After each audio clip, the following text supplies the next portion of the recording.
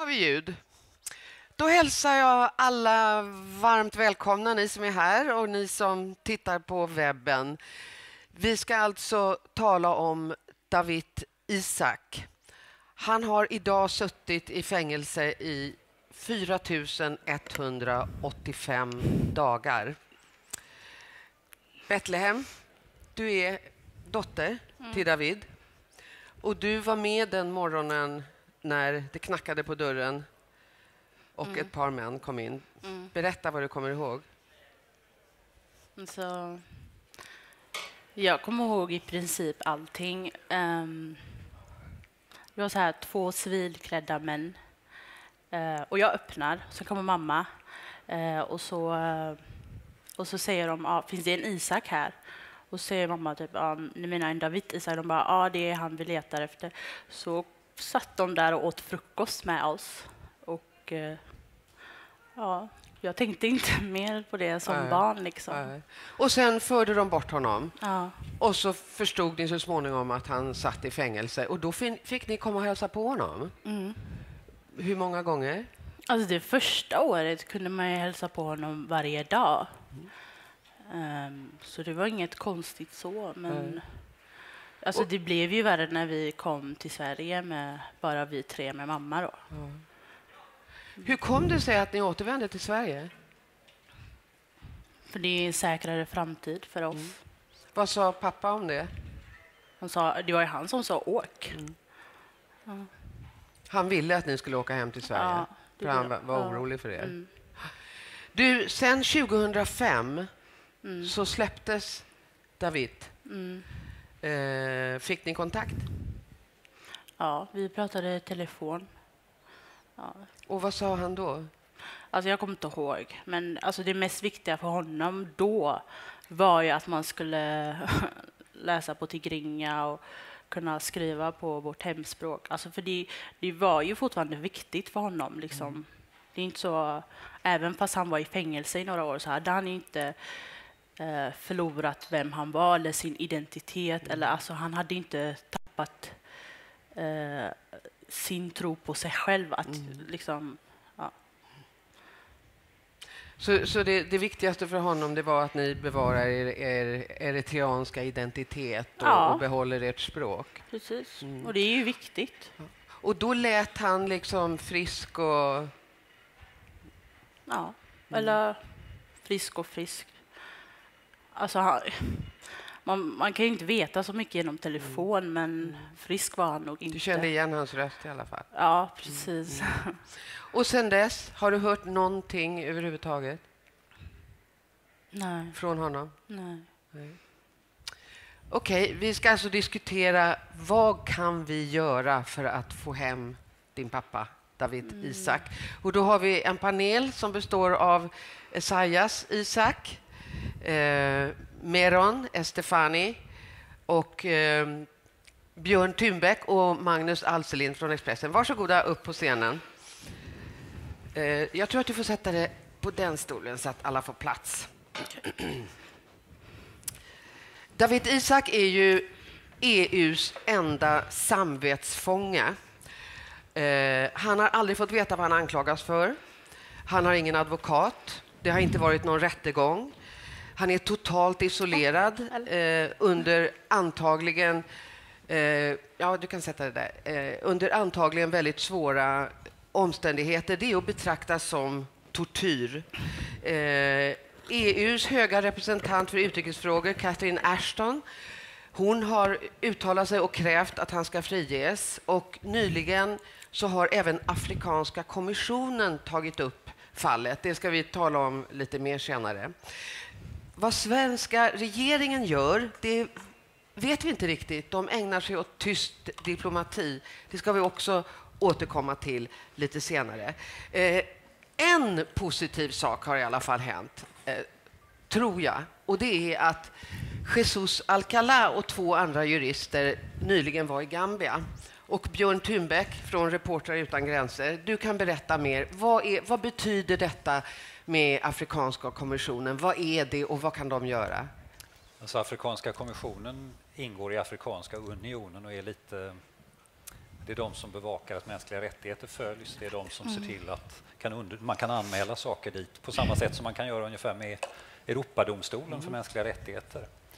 Och, eh, vad vi gjorde, Jesus har gjort mycket av jobbet, den franska advokaten som arbetar för Reportrar utan gränser i Paris, Priska Ossonov och Percy Bratt som är också ordförande i Civil Rights Defenders skrev ihop en habeas corpus-ansökan, en framställan om att helt enkelt, det är inte en rättegång man ska ha, utan man, om man har spärrat in någon så ska man också kunna visa varför man har spärrat in dem. Och man ska också visa hur den personen har det.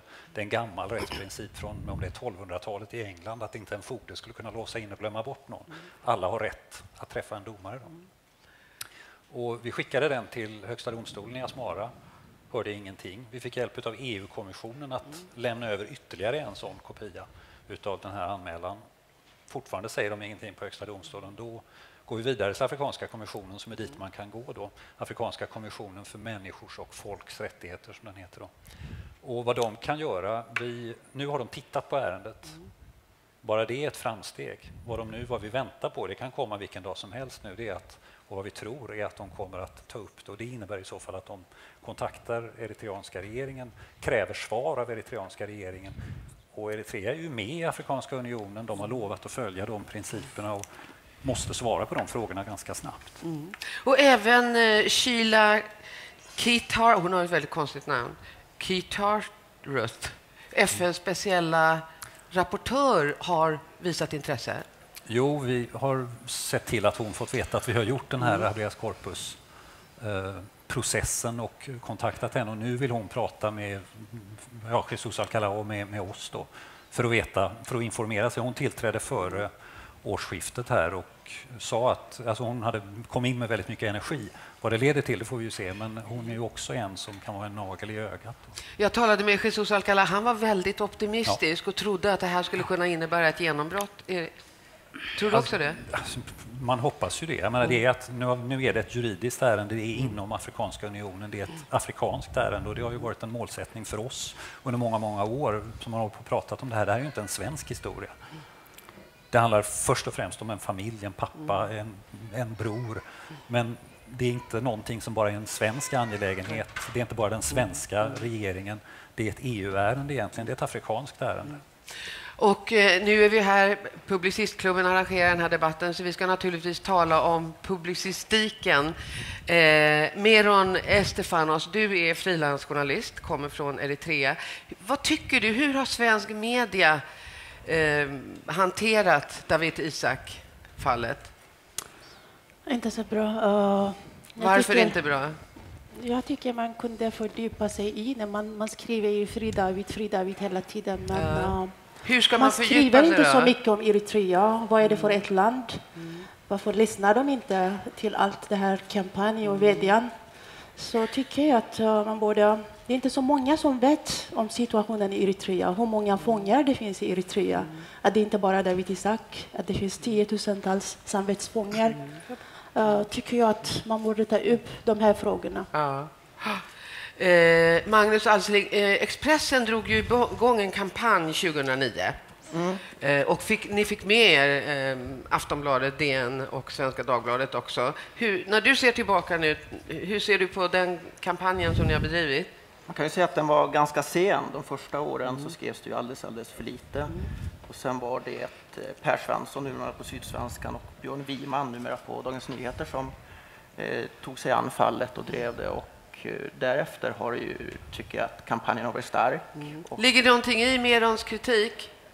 Ja, det går säkert att skriva mer, men vi har ju fångat upp 2% skatten och mm. utpressningen av eritreaner i exil. Och, uh, vi försöker ta reda på så mycket vi kan på alla möjliga vägar, oavsett om det är en Donald Boström som träffar presidenten eller om det är... Uh, vi har andra vägar in genom uh, internet och Eh, olika sociala medier försöker ta reda på allt som händer.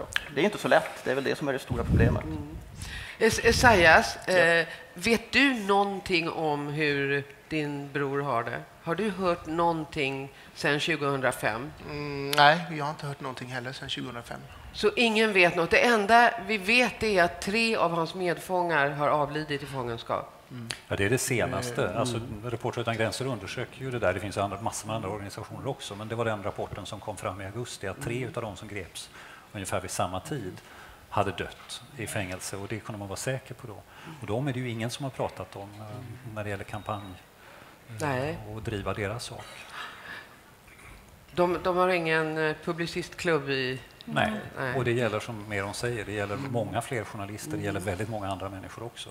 Men vi ägnar oss åt journalister. Eh, om vi ska prata om svenska UD eh, så har vi ju gjort det. Eh, jag bjöd in Carl Bildt. Han lät faktiskt väldigt intresserad av att komma ända tills han fick höra att det var Göteborg.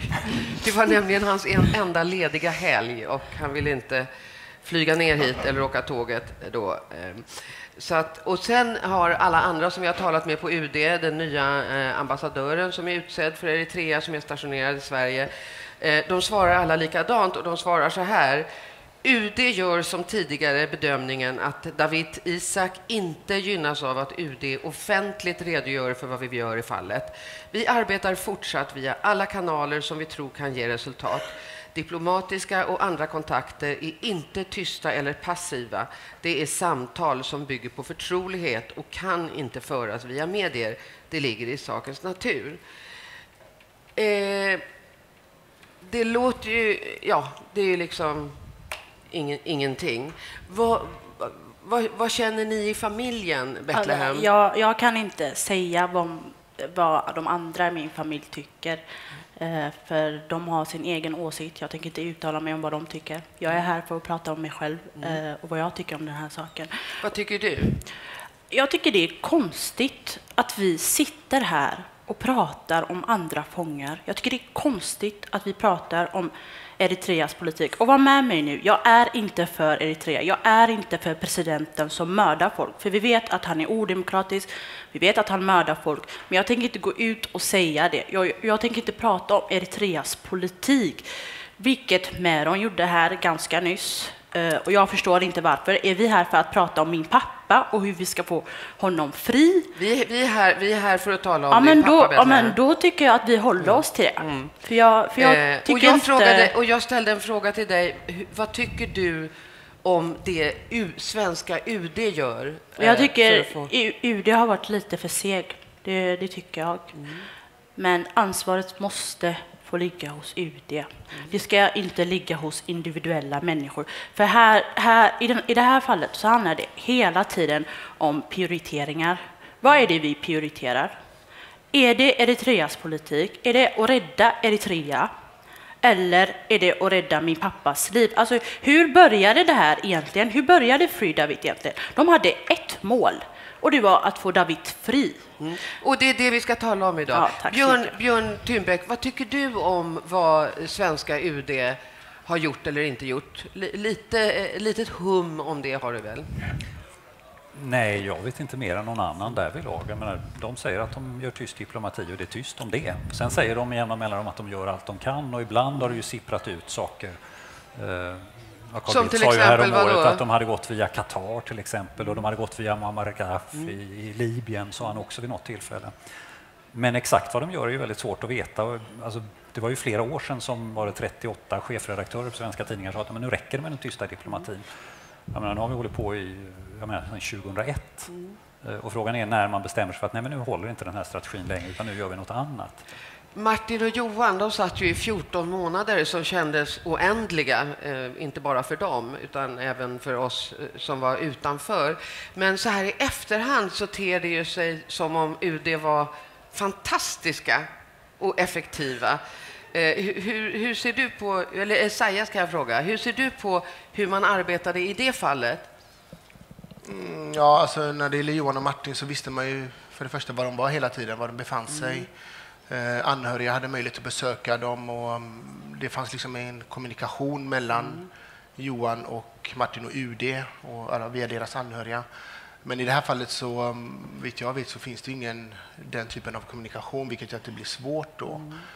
Ehm, och där hamnar ju David såklart i kläm. Så vad kan man göra, Magnus? Vad, vad, vad kan ni i media göra? Det är svårt att säga. Det kanske inte finns någon bra taktik.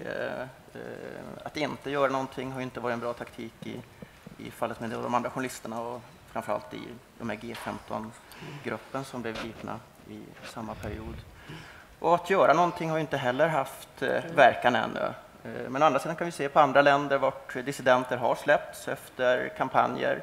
Senast i Vitryssland i fjol, Dmitrij Bodarenko och även Kina och Sovjetunionen. Mm. Och från vår sida så har vi ju Expressen bildades ju som en motvikt mot nazism och vi har ju agerat mot apartheid och Bo Strömstedt en gång i tiden uppmanade ju alla, alla läsare att tuta när de passerade sovjetiska ambassaden för att eh, Sovjet skulle släppa ut en pojke ur landet vars föräldrar hade flytt. Men menar du att det skulle vara en bra idé att alla tutade när de åkte förbi Eritreas?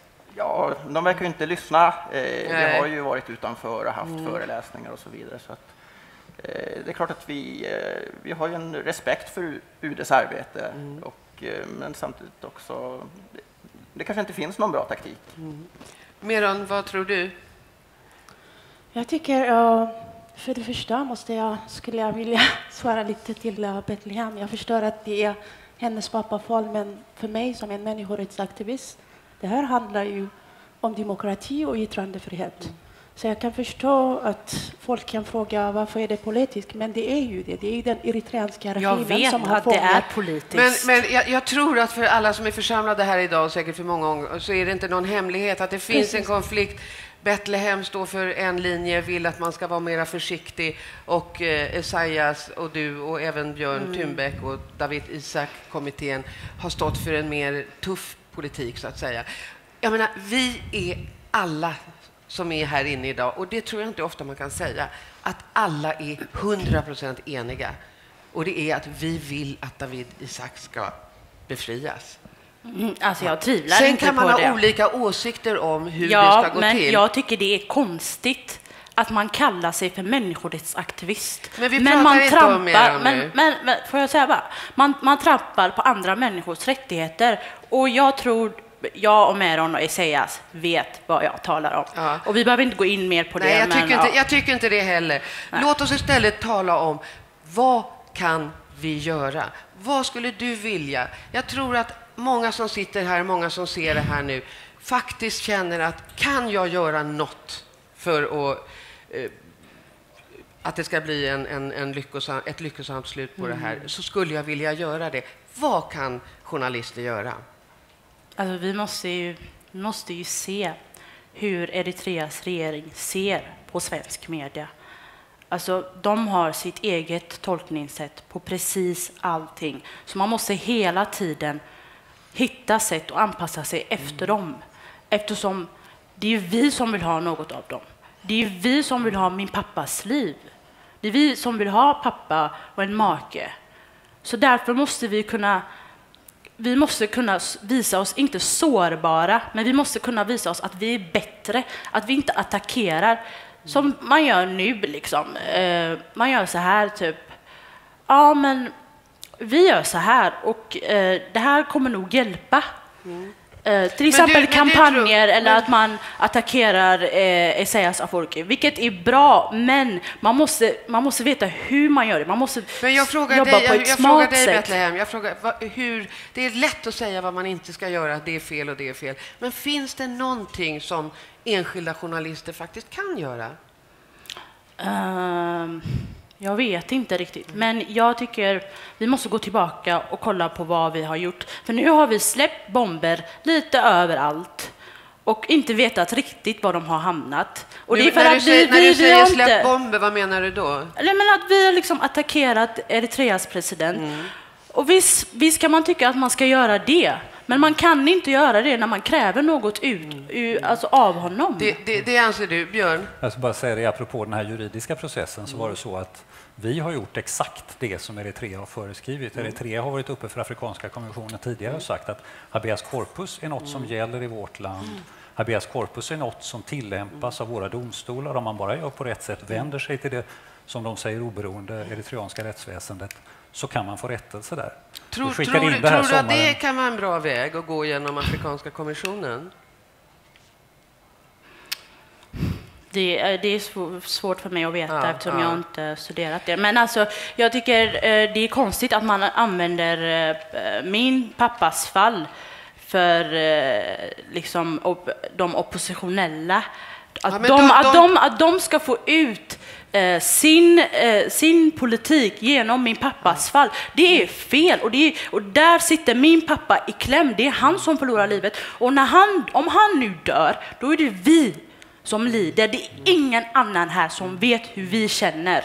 Om vi ska tala om igen vad vi ska vad ändå det kan finnas för positiva saker att göra så talade jag till exempel med Donald Boström som har varit eh, ett antal gånger i Eritrea och eh, intervjuat presidenten.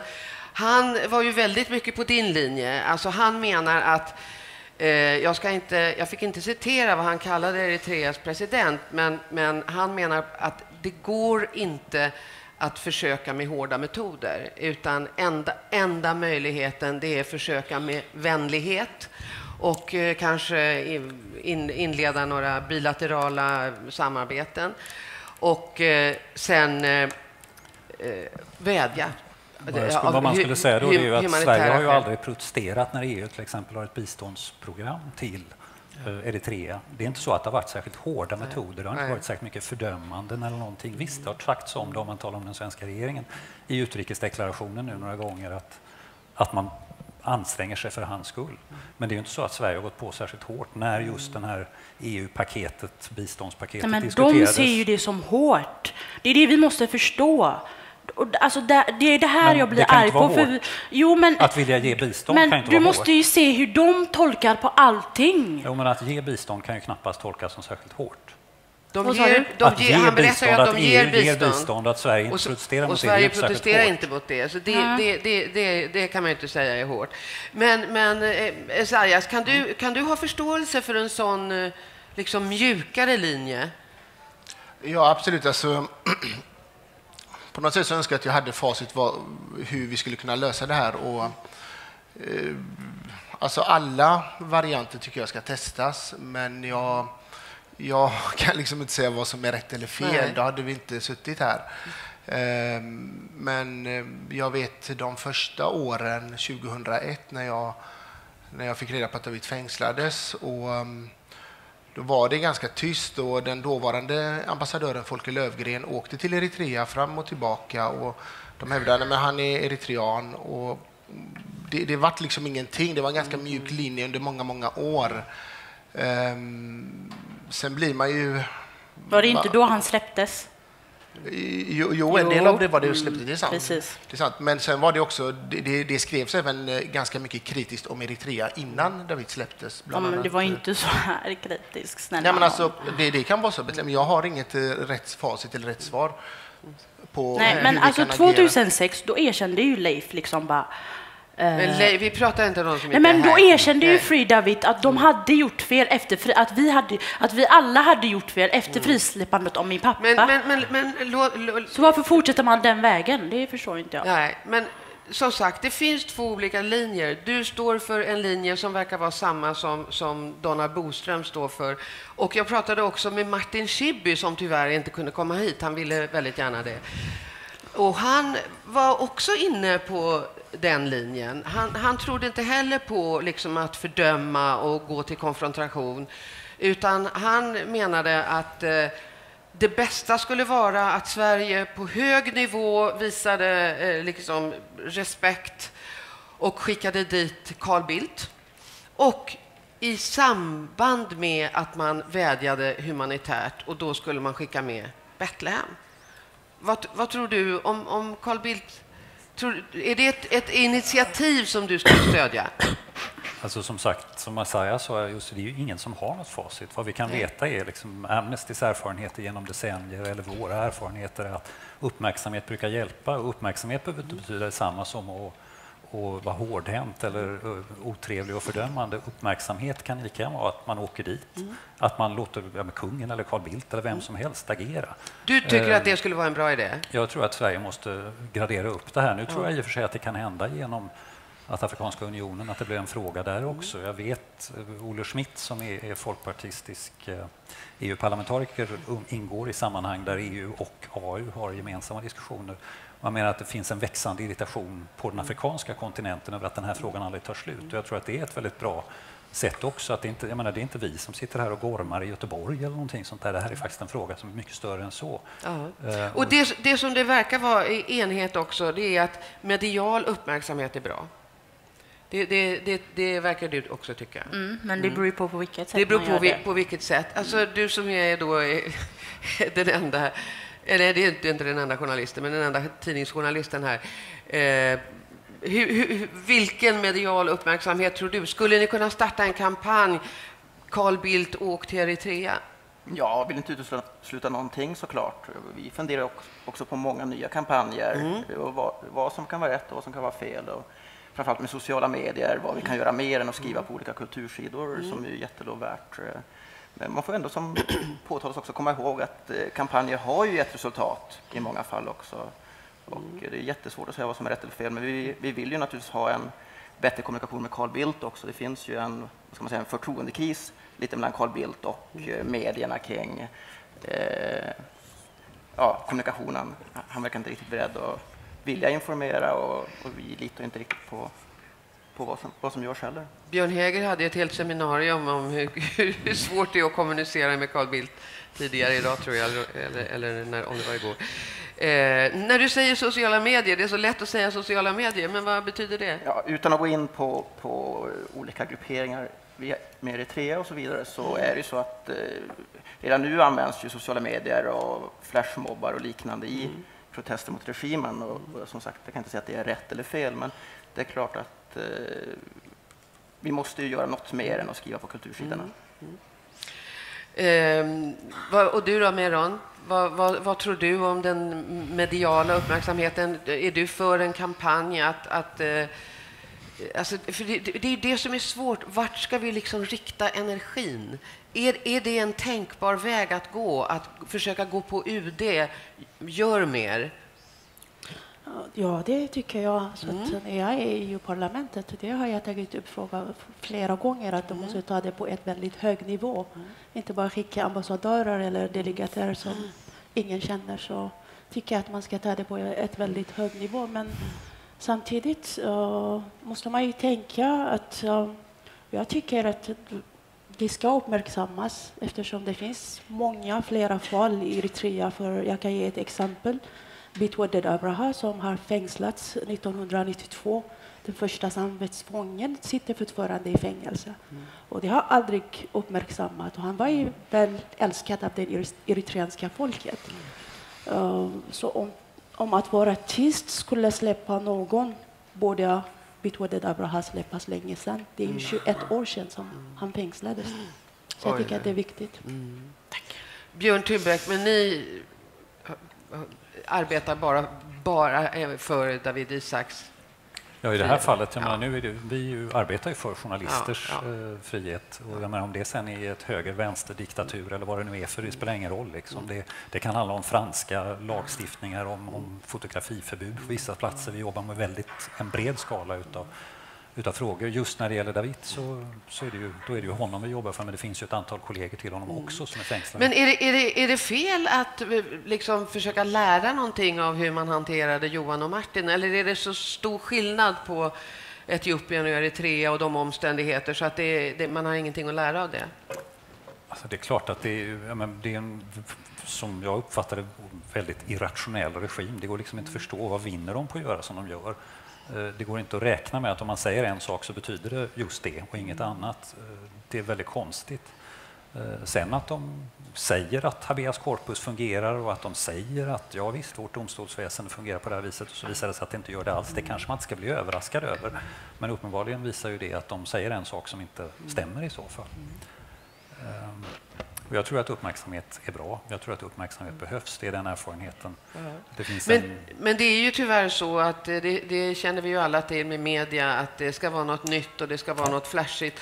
Och den här historien är ju tyvärr... ja, fast väl- de här svenska medier, med Expressen möjligen som ett undantag, är ganska lättjefulla när det gäller det här. De är ganska slappa tycker jag. Ja, det- Mm. talat. Det har funnits, Man pratar gärna i de här sammanhangen om hur bra det är med att ägna sig åt detta, hur viktig frågan är pressfriheten. Men när vi har gjort ett antal saker under de senaste åren, ja, det kommer liksom ingen och bryr sig. Jag menar när vi eh, för ett år sedan hade vi en presskonferens när vi berättade att EU hade ingripit med den här habeas corpus och lämnade över den. Ja, EU-kommissionen, att de engagerar sig, det var en schysst nyhet. Det behöver inte vara jättestort. Att svenska regeringen dessutom hade stött EU-kommissionen i detta, det är ju också någonting som är viktigt. Och då kom det en enda journalist till den presskonferensen. Det var, och det var från Expressen? Det var just från Expressen. Så det är synd, det är ingen som vi kan liksom gå till utkräva ansvar här. Som Men det, alltså, det, känns, det är verkligen så att det finns en väldig lättja kring det här nu. Afrikanska unionen, när Jesus Alcalá åkte till Gambia, det var bara han som åkte dit. Då fick han, alltså de kontaktade honom från, från Frankfurter Allgemeine, från Frankfurter Rundschau, från La Libration, från Vanguardia, från The Independent, från The Telegraph. Ingen från något svenskt medium kontaktade honom, inte än. Och då hade vi skickat ut presslisor här också. Då undrar man, men vad är, vad är, om nu svenska medier säger att de bryr sig så mycket, då tvivlar jag faktiskt på det. Det här är ju liksom konkreta nyhetsbitar att skriva om. Vi har den här 2% skatten den radion som, som eh, Meron arbetar för, om man uttalar mediefrågor, Radio Irena, den har ju den eritreanska regimen flera gånger försökt störa ut. De har stoppat den, Reportrar utan gränser i Frankrike har varit i domstolsprocesser kring det här. Det är väl ingen som bryr sig här. Mm. Och jag tycker det är en väldig besvikelse faktiskt, men jag är trött på dem. Men även om nu denna kritik inte är riktad mot dig, Magnus, eh, så, så förstår du ändå hur tidningar fungerar. Hur kommer det sig att ingen kommer eh, i de här fallen?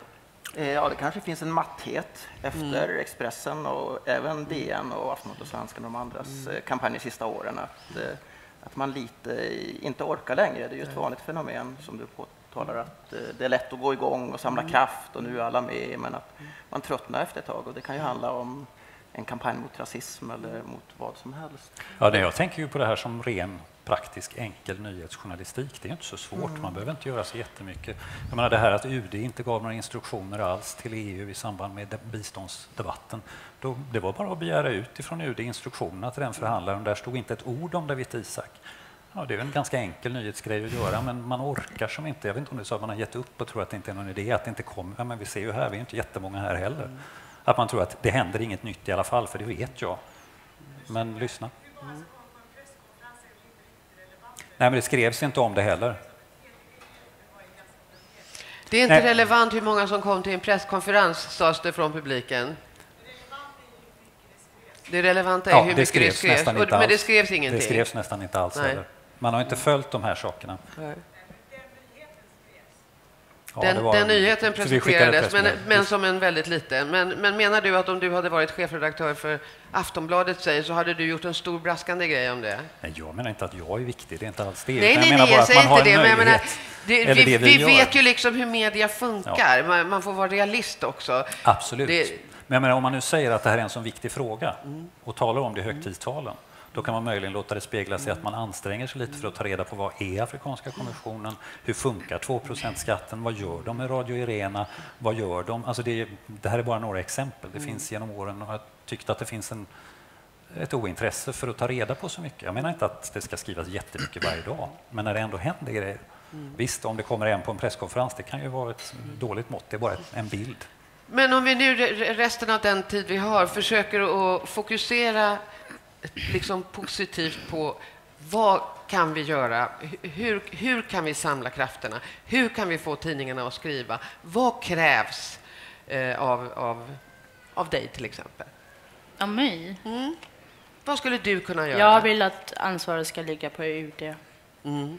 Men då kan du liksom ligga på UD så mycket som du kan? Ja, jag försöker. Ja. Och du, vill du ha hjälp? Vill du att andra också ligger på UD? Nej, jag vill inte att den här saken ska drivas av individuella människor, för det handlar om ett liv fortfarande. Jag prioriterar min pappas liv och det är det viktigaste för mig. Jag tycker, jag tycker inte att media eller tillsammans med andra människor ska okunniga människor ska driva det här. Jag vill att mm. det ska finnas folk som kan Eritrea bättre än vi som sitter här. Som liksom kanske på något sätt har studerat Eritrea, för de är ju vår, vår motståndare. Men menar du att, jag menar jag som vanlig svensk så att säga, Menar du att jag ska bara sitta hemma och, och hålla nej? För att jag nej. vet inte tillräckligt mycket om Eritrea. Nej, det är det inte bra om Magnus på Expressen och, jo, det är och, bra, men om media... vi ligger på och vi talar om för Carl Bildt att nu måste liksom alla eh, resurser tas Ja, men på vilket sätt gör man det? Är det för att David är en eh, politisk fånge, vilket han är, men vi kan inte ta upp det med den här regimen, för det är så de funkar. Och det har jag sagt hur många gånger som helst, men det är ingen som lyssnar, för antagligen är min åsikt oviktigt och jag är ändå hans jag är ändå hans kött och blod. Jag, jag tror att för de som befinner sig utanför eh, liksom er in, inre krets, så att säga, så tror jag inte att det är så självklart vad som är rätt eller fel. Och jag tror inte att någon... Ja, jag säger inte att det, att det här är rätt, jag säger inte att det här är fel heller. Jag säger bara så här tycker jag och det är min åsikt. Mm, liksom. mm, mm. Men, men med, med, all respekt för den så, så undrar jag i alla fall, eh, Finns det inget, är det inte bra om vi ligger på Carl Bildt att han ska liksom anstränga sig mer? Jo, men gör det på det mänskliga sättet. För på det, det finns, mänskliga sättet. För det finns ju konventioner som... Jag studerar mm. mänskliga rättigheter på universitetet. Och där, där kan man ju se att Eritrea har ju skrivit på massa konventioner, till exempel att människan är fri, att människan mm. har rätt till familj. Mm. Jag menar, det är det man ska attackera Eritrea på, mm. för de, de har inte lyssnat på det här andra. Nej. Men vad det är ganska det då, enkelt, egentligen. Eh, vi ville ta, med, ta reda på mer vad som händer inne i Eritrea på alla vägar som går. Officiella vägar genom att, eh, att ledaren ändå ger intervjuer ibland till svenska journalister och eh, även på inofficiella vägar genom våra, våra utrikesjournalister, Therese Kristiansson, Kassem som sitter här nere. Och vi jobbar på att ta reda på så mycket som händer och vi önskar naturligtvis en större insyn i Eritrea och att folk i Eritrea också ska bli mer upplysta, vilket vi hoppas ju mm. ska kunna, kunna leda till någonting. Men vad, vad, tror du rent konkret, vad skulle kunna leda till David Isaks? Det är som vi säger, att vi, det kanske inte finns någon bra taktik. Mm. Ingen har ju fungerat, fungerat hittills mm. och inte för de andra som sitter där heller. Så att, eh... Men samtidigt har ni ju inte provat eh, att att det här, det här mänskliga måste, ni, ni på media måste ju låta det väga lite tyngre än det andra. Ni måste ju prova den här metoden också. Du kan inte sitta här och säga vi har provat allting. Det har ni inte alls gjort. Ni har inte alls provat någonting. Alltså, ni har inte provat det, det här jag säger. Och jag har sagt det de tre senaste åren. Men varför har ni inte gjort det? Var, menar, varför, du... varför har inte ni på Expressen tagit upp det? Varför har inte ni på Frida Witt gjort det? Varför har inte Meron gjort det? Varför har inte du gjort det? Var, var, varför är det... Låt, låt, låt, Magnus svara först. Då. Varför har ni inte gjort det? Varför har ni inte tagit upp det rent mänskliga, det humanitära? Eh, det upplever jag nog att vi har försökt eh, belysa naturligtvis. Det är ju, det är ju grunden till allt det handlar om, att eh, en pappa och en, en bror ska släppas fri. För oss är inte det i första hand stor politik med Eritrea, utan det är ju ett människoöde i första hand. Mm. Och, och sen är det också en samvetsfånge för Sverige och även för EU. Så att, eh, som Bruce Springsteen engagerar sig i och som Madonna och som även EU har mm. tar ju upp regelbundet. Eh, eftersom EU trots allt har en del bistånd så, så tar ju EU upp det i samband med varje biståndsdiskussion vad jag förstår. Så att det är naturligtvis två delar av det mm. och eh, den mänskliga sidan är ju, där börjar ju allting. Mm. Vad säger du om det Esaias? Ja, det är klart det här är en tragedi för, eh, för David och hans barn och alla, alla berörda. Och jag vet bland annat Amnesty-gruppen här i Göteborg skickade ju ett, ett brev då när vår mamma dog och eh, bad att han kan väl åtminstone få besöka hennes begravningsplats eh, ur ett humanitär synpunkt. Ehm, så att, men det, det är svårt också att förhålla sig till ett land som är så slutet, där man mm kanske inte har eh, så mycket information ifrån. Det existerar bara en media. Eh, men jag önskar att jag kunde ge, ge Betlehem svar vad, vad, man kan göra. Jag vet inte. Jag är också väldigt tom men, på men, idéer. Men det finns ju en väldig tragik i att, att de som säger sig arbeta för Davids frigivning, David Isak-kommittén, mm är, är, har hamnat på kollisionskurs med de som är absolut mest drabbade, nämligen familjen. Finns, finns det några möjligheter, som du ser, Björn, till att man skulle kunna hitta ett sätt att jobba tillsammans? Ja, alltså... Reportrar utan gränser generellt har ju bidragit på olika sätt i, i, om man tänker i andra fall med till exempel advokathjälp och sådana saker. Nu har inte det varit aktuellt kanske just här. Mm. Men eh, det är ändå så att vi, Jag menar, många av dem som vi skriver om eller talar om, vare sig de är i Kina eller någon annanstans, det är ju inte personer som vi alltid kan få kontakt med själva heller. Vad vi kan luta oss mot är väl vad David själv sa då när han blev frigiven där 2005, där han var tacksam över den uppmärksamhet och den kampanj som hade pågått till dess. Och den var ju ganska stillsam, men det var ändå tydligt så. Det var något som han själv uppskattade. Vi kan luta oss mot vad Win Tin sa i Burma när han släpptes ut efter 19 år, att han var tacksam för den uppmärksamheten som han hade fått. Han menade att den hade hjälpt honom. Men, men, men det, det finns, det, det, verk, det verkar ju faktiskt finnas enighet om. Alltså att, att eh, din pappa får uppmärksamhet. Det har du väl ingenting emot? Nej. Att Bruce Springsteen nämner hans namn och, och, och Madonna och EU. Och, det, det ser ni- du inte som negativt? Nej. Nej. Så där finns ju ändå någonting att liksom by, bygga på. Men, men frågan är sen då? Vad kan man göra mer? Alltså det här, den här boken som, som jag har här, det, var, ju- det är ju Davids egna texter som han skrev när han var här i Sverige. De finns på bibliotek och lånar på Tigrinja då, i- sen tidigare. Eh, Pengarna ifrån den boken, alla förlagen ställde upp gratis, alla jobbade gratis med den, utom översättarna som fick betalt av Svenska Akademin. Alla intäkter för den boken går ju till Davids eget bankkonto som han har. Det är väl någon sorts konkret sätt och det innebär ju en hel del pengar. De kostar 100 kronor att köpa och det går direkt till honom. Då. Eh, Det är väl också den, en sån insats kan man ju säga. Vad, vad mer då, Meran? Har du någon annan eh, konkret idé kring vad, vad man kan göra för att få... Alltså för mig är det ju... Man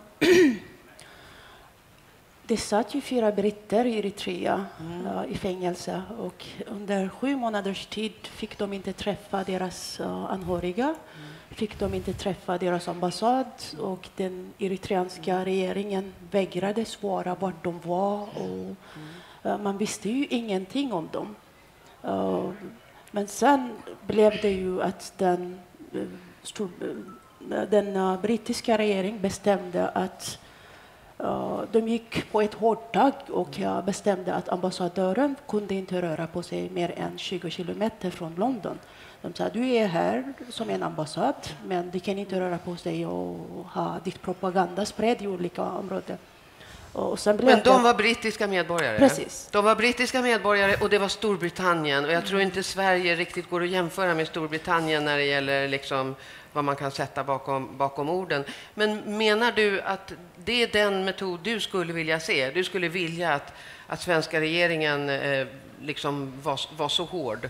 Ja, jag tycker att ja, det har ju gått, det är ju snart 12 år, så man, jag tycker de har ju provat den tysta diplomatin och det har inte hjälpt.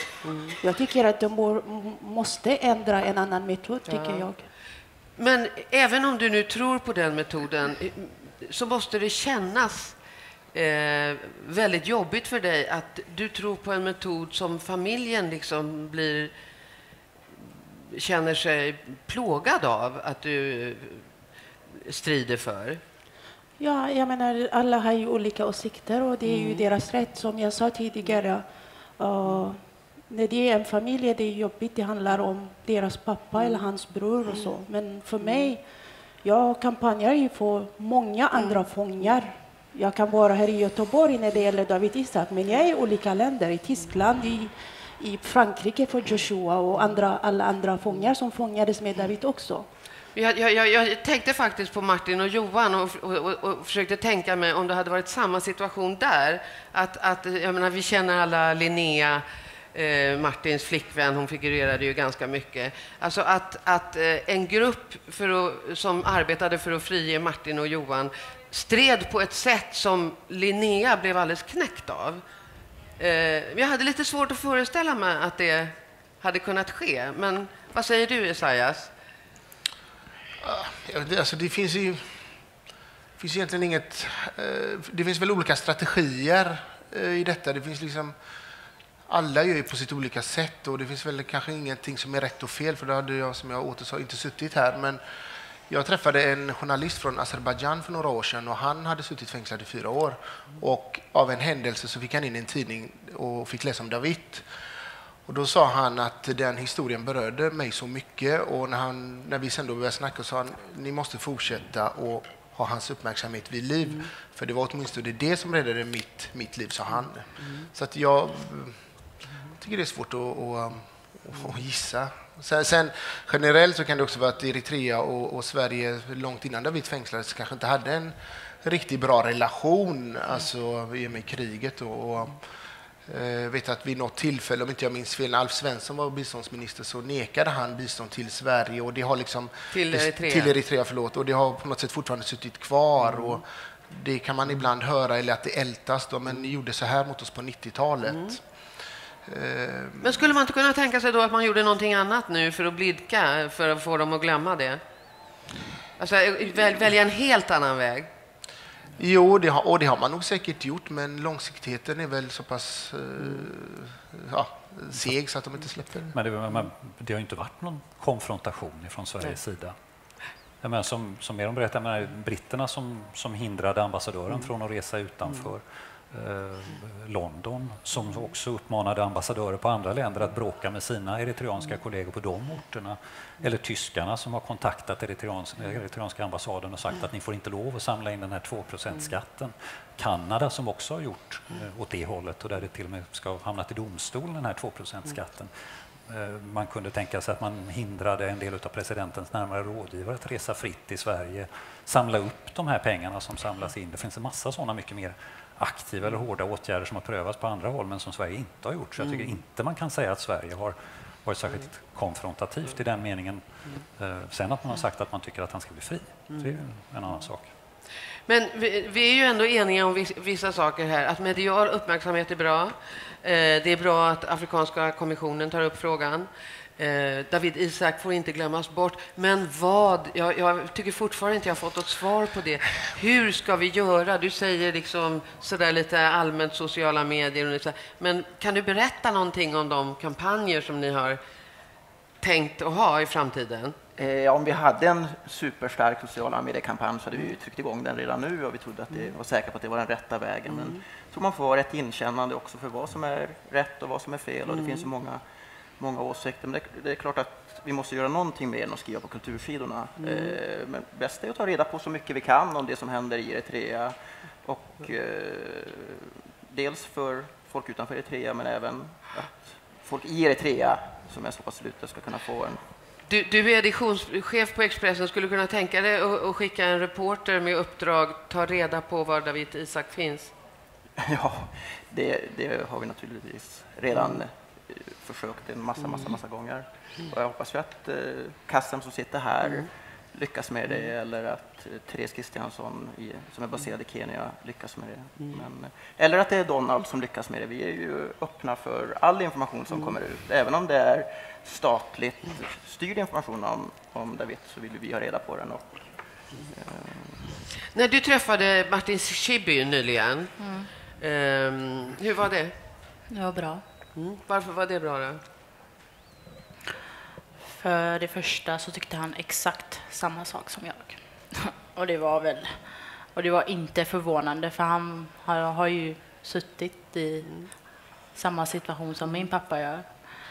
Eh, Så han förstod ju mig helt. Han var nog... eh, Jag tror det, han är nog den enda människan som precis exakt förstått vad jag sagt, vad jag menar. Så jag tyckte det var ett jättebra möte. Vad sa han till dig då? Kommer du ihåg det? Ja, vi pratade ju några timmar. Ja, men var det ju något särskilt som du, som du tog till dig av... eh, Hade han några råd eller? Alltså han sa ju fortsätt vara stark och om det är något så hör av dig och liksom sådana saker. Men inget så. Jo, han sa någonting som jag kommer ihåg, för jag såg nämligen ett tv-program. Eh, med mötet mellan er som var väldigt fint. Och då sa han eh, så här att eh, det var någon som hade sagt till Linnea när han satt inne, eh, för hon var naturligtvis väldigt ledsen och förtvivlad och deprimerad. Då hade hennes arbetskamrat sagt att var inte ledsen.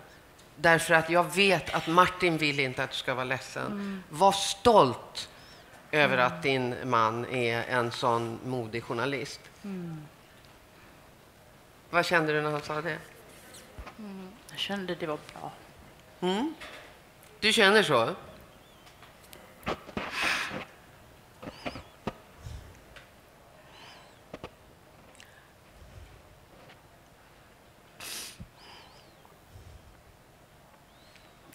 Jag vet, alltså. Jag tror jag är...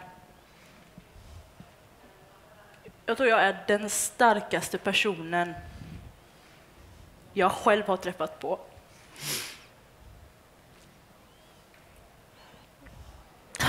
Här sitter jag efter 12 år och pratar om en pappa jag inte ens känner.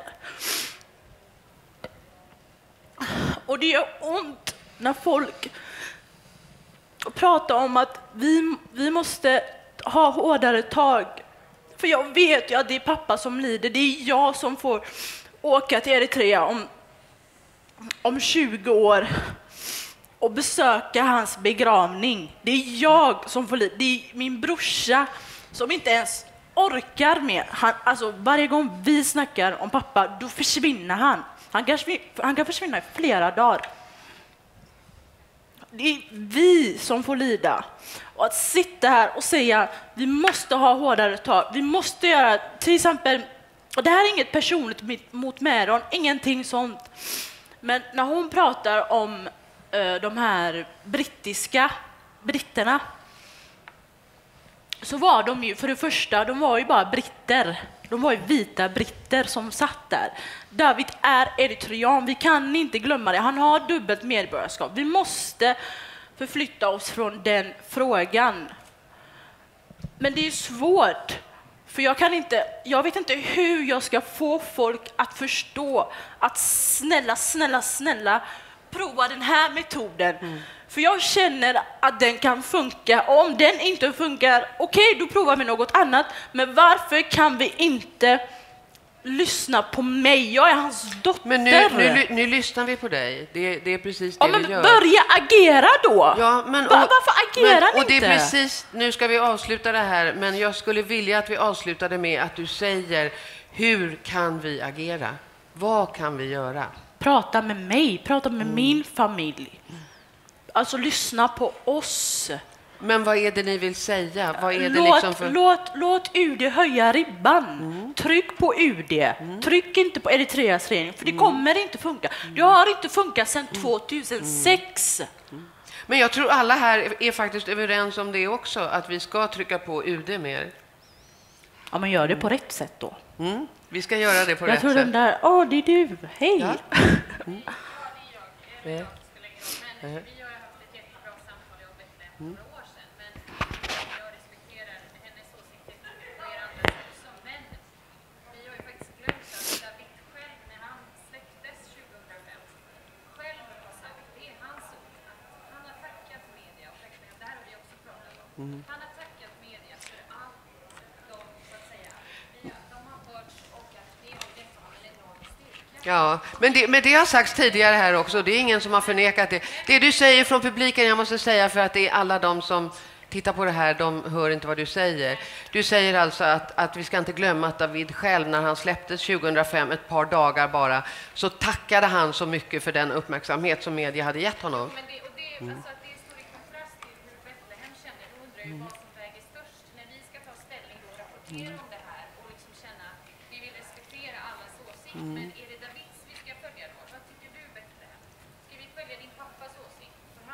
Ja, men äh, hallå, nu måste vi kolla. Hur var mediebevakningen innan han släpptes 2005? Den var inte så här.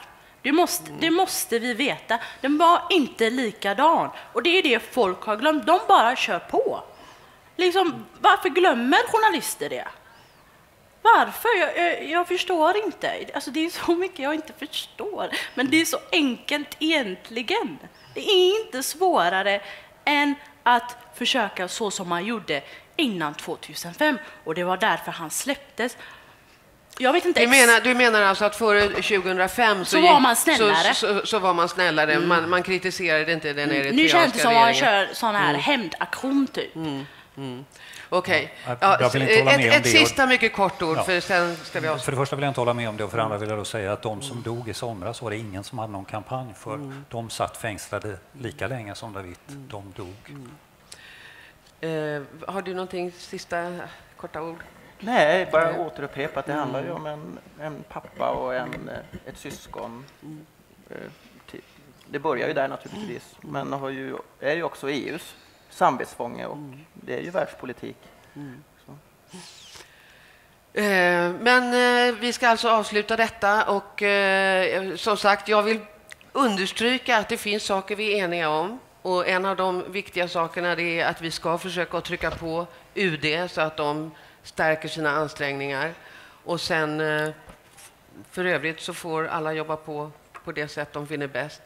Men att eh, med, med respekt för familjen som är de som lider mest.